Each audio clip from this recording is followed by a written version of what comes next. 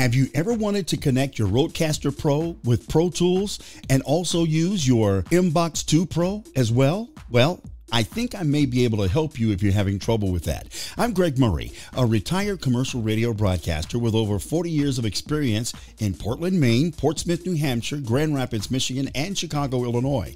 As a DJ, I stream live on twitch.tv slash Greg Murray Entertainment. Now, I've made lots of friends worldwide since I've been streaming, and some of them have had questions.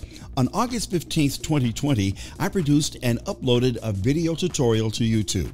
If you need help connecting your Rodecaster Pro, Pro Tools, and Mbox 2 Pro together, the video that I made back in August 2020 could help you with that.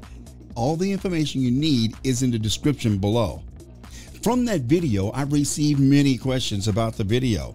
I will answer those questions about the Rodecaster Pro connecting to Pro Tools Studio 2022.5. Recently, I purchased Pro Tools Studio 2022.5.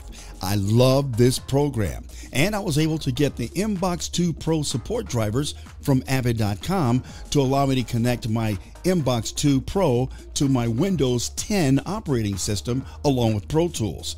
Now I'll answer some of those questions. Question one What OS are you running that sees Mbox? I have one with Pro Tools that I would like to use. Well, answer to your question is this I am using Windows 10 Home. Pro Tools Studio 2022.5 and supporting software for Mbox 2 Pro that I found on Avid.com. In the description below, you'll find a link to those drivers. Question number two Will this work with Focusrite Solo? Answer yes. Pro Tools Studio 2022.5 will work with Focusrite Solo. Now, my wife has one, and I connected it to my computer to test it out. And yes, it works fine. Although my wife gave me a hard time for disconnecting her Focusrite and told me don't ever do it again. Question number three Yo, how did you connect the Mbox to your PC?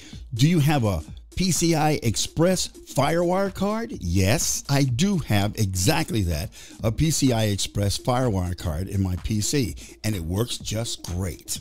Question number four Is Mbox 2 compatible with the new version of Pro Tools? As I've stated, yes, it does. I put the link of the supporting software from avid.com in the description below.